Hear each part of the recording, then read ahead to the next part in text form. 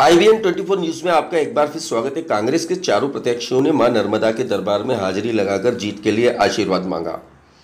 तेंदुखेड़ा से पंडित संजय शर्मा नरसिंहपुर से लाखन सिंह पटेल व गाडरवाड़ा से श्रीमती सुनीता पटेल एवं गोटेगांव से एनपी प्रजापति कांग्रेस के प्रत्याशियों के रूप में चुने गए हैं।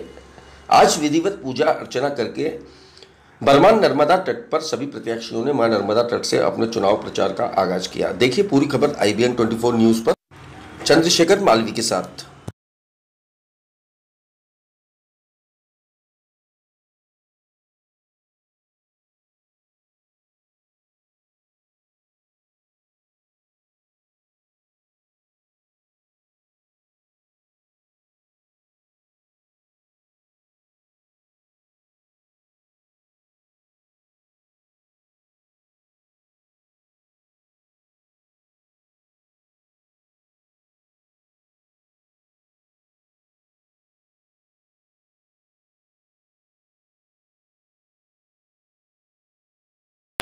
ये परिणाम ये परिणाम बताएँगे परिणाम बताएँगे बारह तारीख को वही वो सांसद हैं।